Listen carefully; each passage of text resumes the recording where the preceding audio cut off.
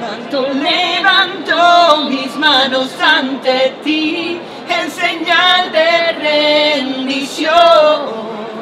Levanto, levanto mis manos ante ti en señal de adoración.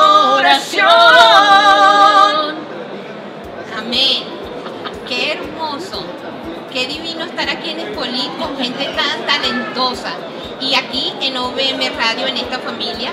Y yo quiero darles las gracias a Tina y a Eric, a, Ricky, ¿verdad? Ellos no saben, pero cuando yo llegué a los pies del Señor, una de las canciones que mami ministraba era la de Tina, el Espíritu Santo. Hermoso. Y hoy los tenemos aquí con un hijito que acaba de nacer, ¿verdad? ¿Nos quieren hablar un ratito de eso? Bueno, mire, estoy muy agradecido con mi Señor y, y le doy gracias a Dios. Quisiera que pudieran ver este libro que se llama Creados para Adorar. Realmente viene inspirado por el Espíritu Santo de Dios y sé que va a tocar el corazón de muchos de los que están aquí. Pero les damos un pequeño preview. Una de las cosas que vas a encontrar en este libro, ¿verdad, mi amor? Es que el Señor está buscando adoradores en espíritu y en verdad. Pero ¿qué es adoración en espíritu y en verdad? Y es que cuando uno adora y realmente uno busca en la presencia de Dios, pero tú sabes que uno puede cantar y uno puede levantar las manos y hacer todo y realmente no estar en espíritu y en verdad. Por ejemplo, yo puedo estar diciendo, levanto, levanto mis manos ante ti.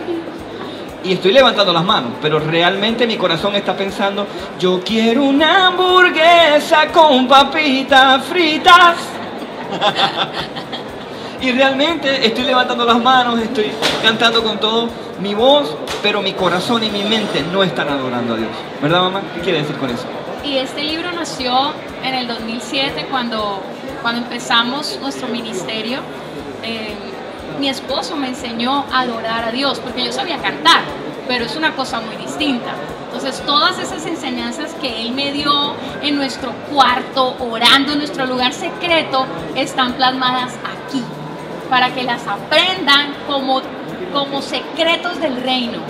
Amén. Creados para adorar. Como nos decían ellos, a veces levantamos las manos y tenemos que tener levantadas las manos, el corazón y el espíritu. Un libro que no tiene que dejar de leer. Y te va a enseñar lo que significa la alabanza, lo que significa la adoración. A veces pensamos que la alabanza son las canciones rápidas y las oraciones son las canciones lentas. Y no tiene nada que ver una cosa con la otra. Yo puedo adorar rápidamente y puedo alabar lentamente. Entonces, mira, hay mucho que aprender allí. Y todos estamos aprendiendo cada día. Pero en este libro hay nueve enseñanzas. Y termina con unas oraciones excelentes. Hay una guía de oración para que todo ministerio de adoración, toda persona que quiera aprender a adorar en espíritu y en verdad, se prepare. Este libro realmente vino del corazón de mi Señor. Nosotros mismos cuando lo escribimos dijimos, esto no pudo haber sido por nosotros. Quisiera que diéramos una despedida y termináramos con una oración.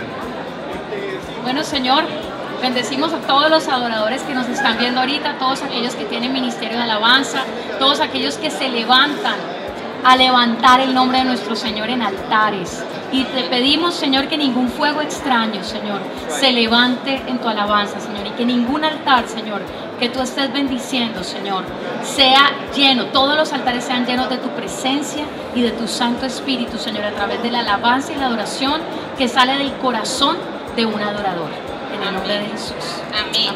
Además de conseguirlos en OVM Radio, la primera, donde más los podemos encontrar? Nos, pueden, nos puedes conseguir en Instagram eh, como DCN Doral, eh, también Tina Floyd 1.